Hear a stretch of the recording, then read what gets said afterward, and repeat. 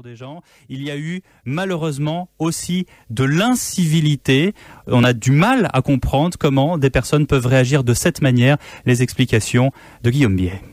Oui, scène euh, incroyable. Les policiers qui euh, témoignent ont, eu du mal à le croire. Ils se sont fait agresser sur place, caillasser. Même chose pour euh, les pompiers, pour les tout premiers secours.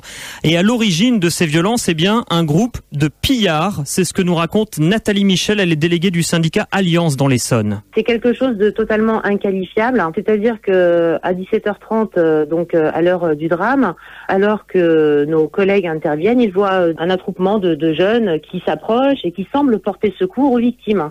Mais très rapidement, nos collègues se rendent compte que ces individus sont présents pour euh, dépouiller, parce qu'il n'y a pas d'autre mot, pour dépouiller les victimes et notamment euh, les premiers cadavres. De là, nos collègues chassent les individus et derrière, euh, les individus ripostent en caillassant nos collègues et les collègues pompiers. Voilà, c'est honteux c'est inqualifiable, c'est monstrueux, c'est monstrueux. Voilà, vous percevez l'écœurement des, des, premiers policiers qui sont intervenus. Ils ont dû faire euh, appel à des renforts pour éloigner ces, ces voleurs, ces agresseurs.